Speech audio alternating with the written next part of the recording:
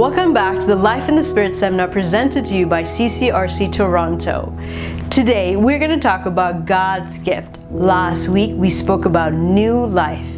God is so good. In Him, we have redemption. We are no longer slaves, but we are free. And we're called sons and daughters of our Heavenly Father, a King. And you know, as a King, He is lavishing us with His gifts. That as sons and daughters, we are about to hear what God has in store for me and you. Dear brothers and sisters, this talk will be presented to us by Deacon John. Just before we begin with Deacon John, I just want to remind you that next week we will be having a live session on our Facebook and YouTube channel. Please join us at 7:30 p.m. on on next Monday. Good evening, my brothers and sisters. It is indeed a great honor and privilege to be with you during the Life in the Spirit seminar and to be able to speak to you about preparing to be baptized in the Holy Spirit and receiving God's gift. Before commencing, let's start with a wonderful prayer to the Holy Spirit. In the name of the Father, and of the Son, and of the Holy Spirit. Amen. Come, Holy Spirit, fill the hearts of thy faithful, and enkindle in them the fire of thy love. Send forth thy Spirit, and thou shalt be created, and thou shalt renew the face of the earth. O God, who by the light of the Holy Spirit did instruct the hearts of the faithful, grant that in the same Holy Spirit we may be truly wise and ever rejoice in his consolation. Through Christ our Lord. Amen. Jesus, I trust in you, the Father and the Son and the Holy Spirit. Amen. Our brothers and sisters, if we uh, want to live the Christian life in a powerful way, we must first open up to all the power of the Holy Spirit into our lives. One of the ways the Holy Spirit gives us the power is through His gifts. And I know beyond the shadow of a doubt that the Holy Spirit given to us in baptism and sealed at confirmation is indeed real. His gifts, understood and yielded to, can change our lives radically. And God did not leave us orphaned. No, not at all. He assured us that He would send us His Spirit. This is promised to us in Scripture. Listen to what Jesus tells us in the Gospel of John, chapter 14, verses 15 to 21. If you love me, you will keep my commandments, and I will ask the Father, and he will give you another advocate to be with you forever this is the Spirit of truth, whom the world cannot receive, because it neither sees him nor knows him. You know him, for he abides with you and will be in you. I will not leave you orphaned. I am coming to you. In a little while, the world will no longer see me, but you will see me, because I live you also will live. On that day, you will know that I am in my Father, and in you in me, and I in you. They who have my commandments and keep them are those who love me, and those who love me will be loved by my Father, and I will love them and reveal myself to them. This gift of a deep, abiding, personal relationship with God is possible for each one of us. The seed is given at baptism and lays the foundation. All the grace to grow in wisdom, age, and grace is bestowed on each of us at our baptism. And when the cleansing waters of baptism watched over you, something very real indeed happened. The sin inherited from Adam and Eve was removed from you, and the blood of Christ on the cross was the payment for your redemption. You were washed clean, and you were given the first pledge of eternal inheritance the Holy Spirit. This is reaffirmed in 2 Corinthians chapter 1 verse 22 by putting his seal on us and giving us his spirit in our hearts as a first installment. You became a temple of the Holy Spirit. And this is also reaffirmed in 1 Corinthians chapter 3 verse 16. Do you not know that you are God's temple and that God's spirit dwells in you? This really happened.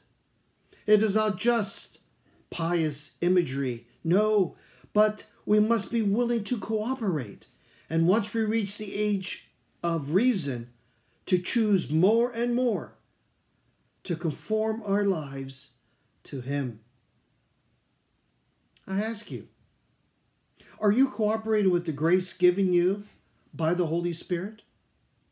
Can you pro- proclaim with St. Paul, as in Galatians chapter 2, verse 20, It is no longer I who live, but it is Christ who lives in me.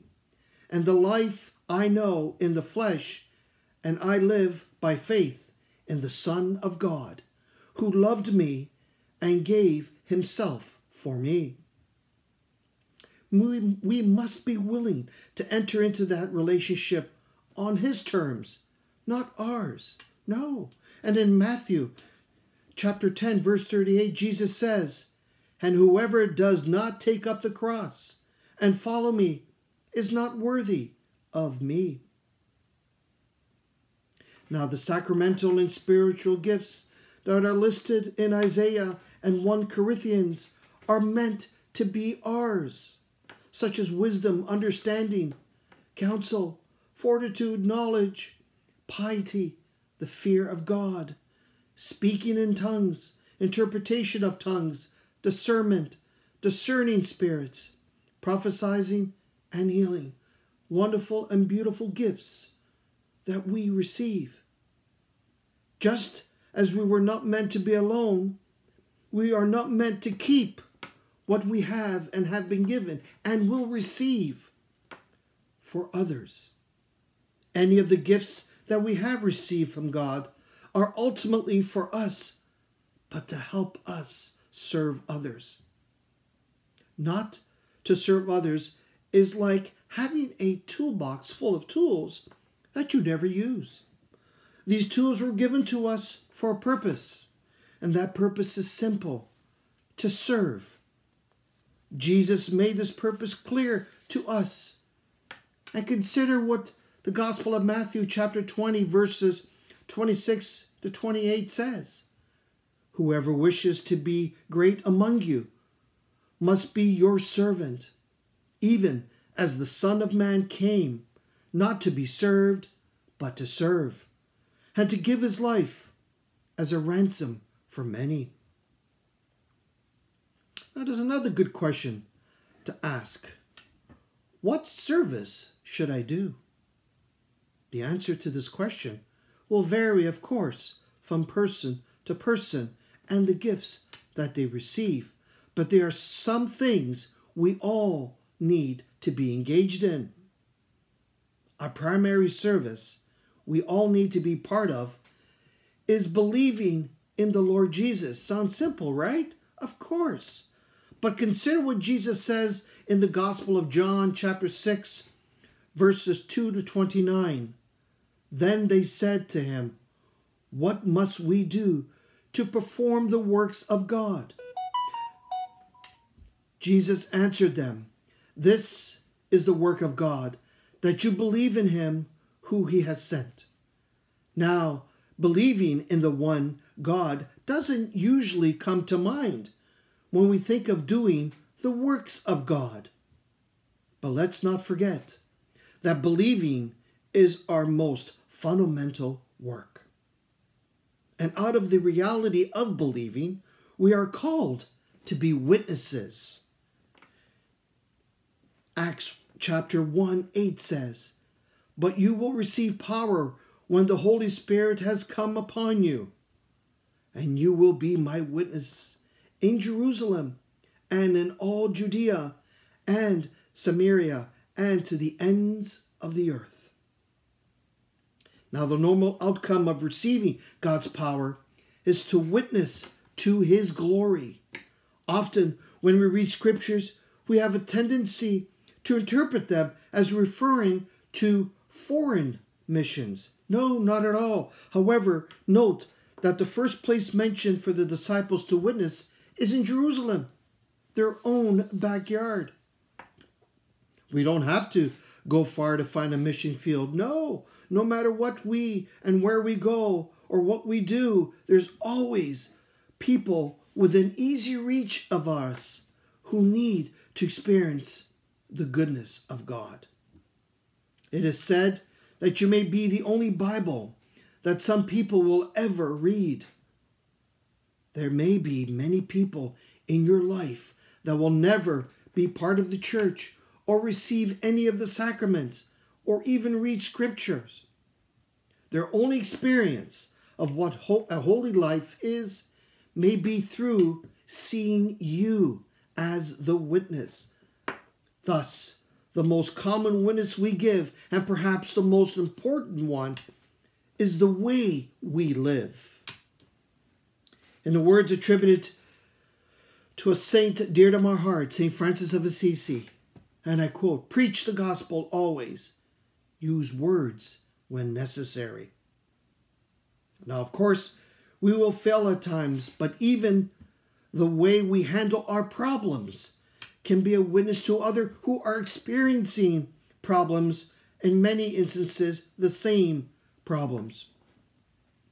We will find occasions when we need to witness with our words, and at that time, a holy life that people can see will make our words more believable. Now, for many of us, the thought of witnessing in this direct way is daunting. My advice to you is keep it simple. A witness is merely one who testifies to what he or she knows to be true. Even though witnessing is a service, when you share your faith with another person, you will receive more than you give. It is my belief that God is asking again through the repeated calls of St. John the 23rd, St. Paul the 6th, St. John Paul II, Pope Benedict, and now Pope Francis to say yes to the call of being a witness, discipleship, and to renewing our assent to the life of a disciple. Now, the price of discipleship, though, is giving up our will to do things our way, our way for our own satisfaction. It is giving up the right to tell God what we want and when we want it. It is giving up even the right that comes with free will to tell God how we are going to be his disciple. So, how do we become more his disciples? So that we can be good stewards of the graces he has given you and I. We need more of the Holy Spirit. And this coming week, you will be making preparations for a greater release of the power of the Holy Spirit in your life. Remember, God desires to have you experience the full power of His love for you with all the gifts that flow from His Spirit of love. Now, as you prepare to receive this gift, you need to resolve that you will turn away from sinful habits and patterns in your life or anything that would block the actions of the Holy Spirit. If fears or doubts tempt you to run away from a deeper life in the Spirit, know that such temptation is normal. It was normal for me also.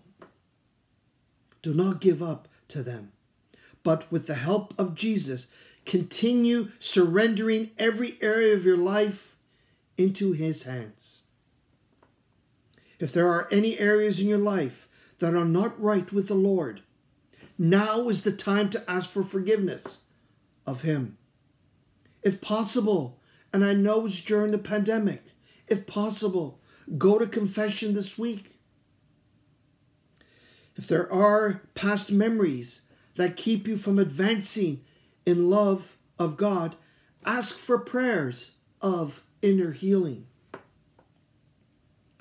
God desires to give you a new life in His Spirit, and we should attempt to remove any obstacles that keep us from life from flowing into your whole being.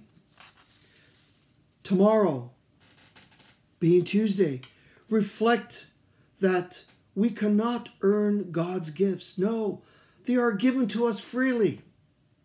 Nor do we deserve God's favors. There is nothing, nothing we can do for God or anyone else that would make us deserving of them. St. Paul tells us God has saved us and has called us into a holy life not because of any merit of our, but according to his own design. The grace held out to us in Christ Jesus before the world began, but now made manifest through the appearance of our Savior. On Wednesday, let's pray for a genuine desire of wanting a new outpouring of the Holy Spirit into your hearts to be renewed, to be regenerated in our Christian faith. We have to desire it with all our being. In Revelation chapter 21, verse 6, it says, To anyone who thirsts, I will give to drink without cost from the spring of life giving water. On Thursday, Let's pray that our hearts may be disposed to receive in a new outpouring of the Holy Spirit. We must make up our mind that we will turn away from sinful habits. Now, the basic sin of mankind, I hope we all know, is impiety. What is impiety? It is walking past God as if He was not there in our presence we make ourselves the potter and God becomes our clay.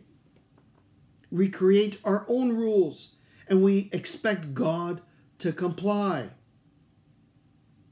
St. Paul tells us in Ephesians chapter 4, verses 22 to 24 you must lay aside your former way of life and old self, which deteriorates through illusion and desire and acquire a fresh spiritual way of thinking.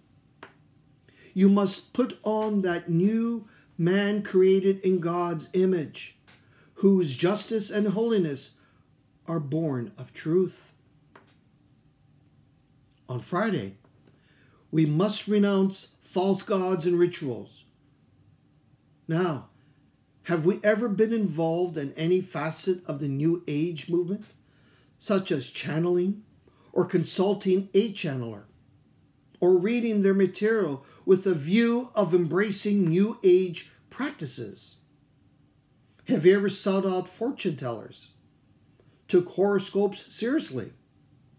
Took part in witchcraft rituals? Yoga, which involved mantras? Played with Ouija boards and games such as Dungeons and Dragons? to this scripture warns us let there not be found among you a fortune teller, soothsayer, charmer, or caster of spells, nor one who consults ghosts and spirits or seeks oracles from the dead. Anyone who does such things is an abomination to the Lord. On Saturday, we must renounce anything that is compatible with living a Christian life, such as long standing anger, unforgiveness, jealousy, envy, especially towards family members that unfortunately, and I hear too often, people take to their graves. These, my brothers and sisters, are the blocks to that life giving grace of the Holy Spirit. I encourage you to read and reflect on Lamentations chapter 3, verse 40, 41, which says, Let us test and examine our ways and return to the Lord. Let us lift up our hearts as well as our hands to go in heaven. On Sunday, we should reflect on that we can be confident in our Lord, who is rich in mercy and who does not withhold his love for you and I.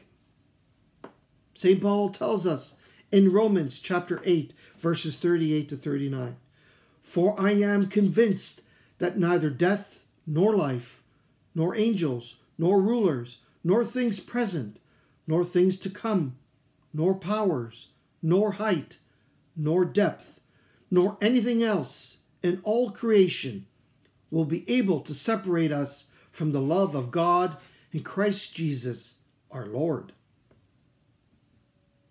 On Monday, the day that you will be baptized in the Holy Spirit, let's seek the grace of the Holy Spirit with faith. In the Gospel of Luke, chapter 11, verses 9 to 13, our Lord states, So I say to you, ask, and it will be given to you. Search, and you will find. Knock, and the door will be opened for you.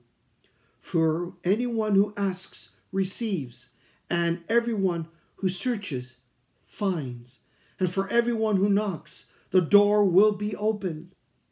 If there is there anyone among you who, if your child asks for a fish, will give a snake instead of fish?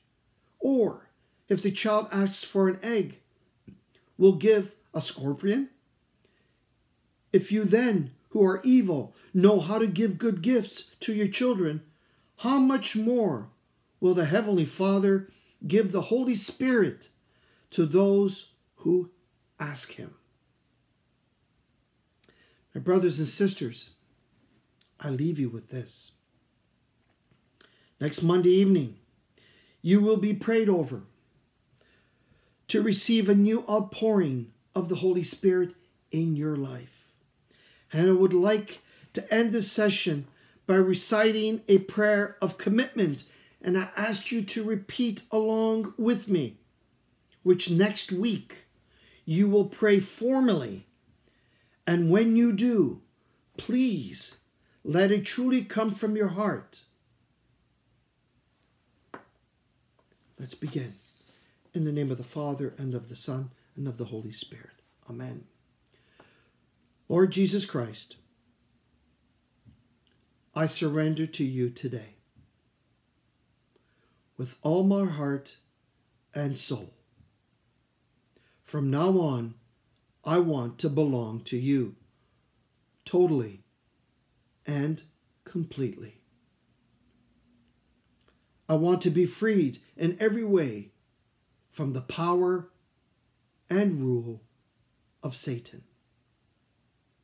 Jesus, I believe you are the Son of God, that you died on the cross to free me from my sins, and that you rose again to bring me new life.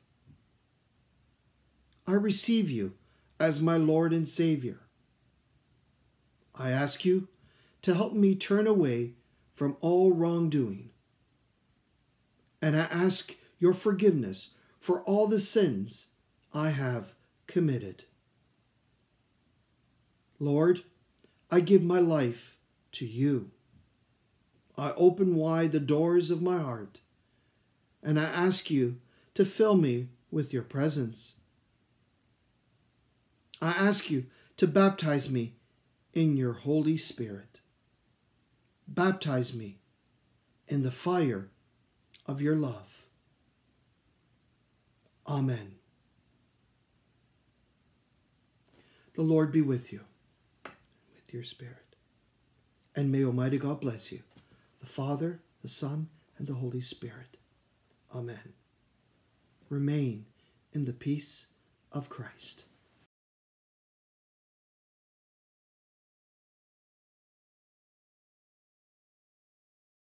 Come, Holy Spirit, and fill us with your love, your peace, and your identity.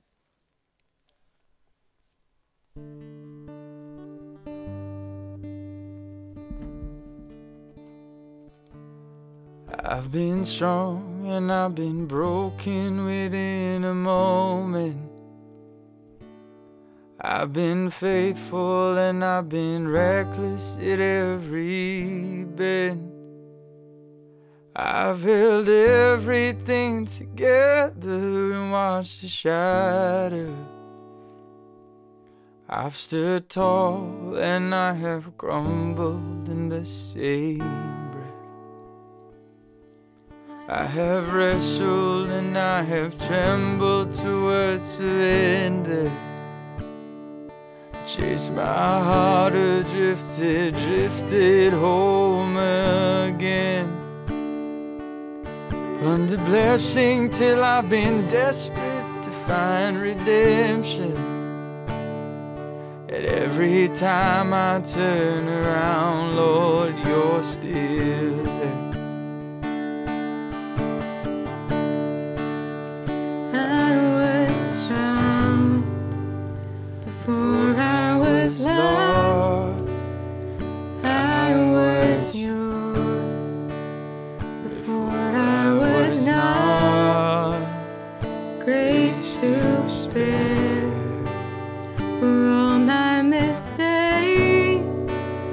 and that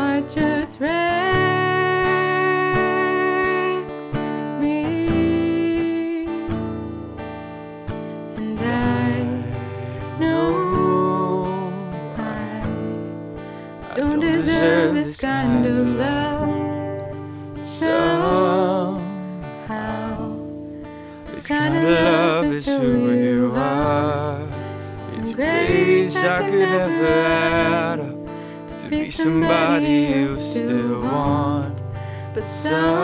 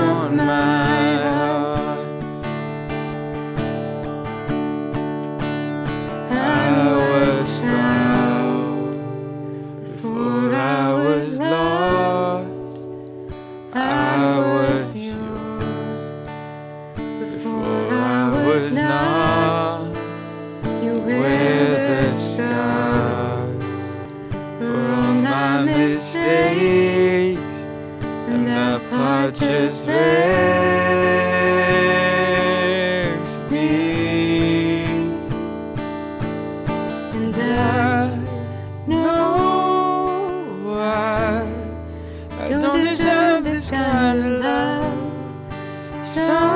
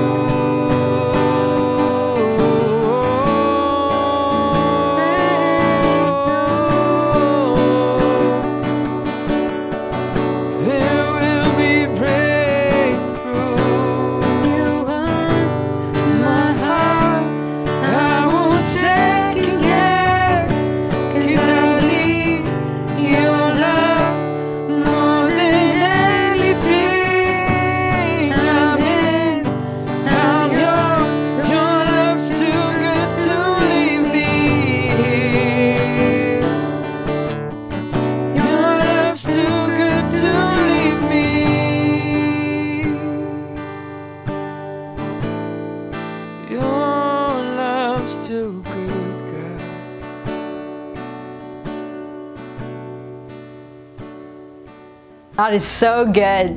You know, He loves you so much as our Heavenly Father. He just wants to pour out more and more and more. That these gifts are freely given and we don't have to earn it because He has already redeemed us, dear brothers and sisters. As Deacon John shared beautifully how we could prepare for next week, I encourage you to go to confession. I encourage you to look internally and ask the Lord to shine His light in the areas and surrender. For He's so good. He wants to give you a new life in Him. Brothers and sisters, continue to recommit yourself to Him, for He loves you so much, and have an open heart to Him. For He is, for He is a God of God of His Word. He is the God that is so faithful. So, dear brothers and sisters, encourage you to keep watching this video as in preparation for next week, and remind you again that Monday, February 22nd, 7:30 p.m. Please join us live on our YouTube and Facebook channel. Until then, may God be with you. May His peace surround you. God bless.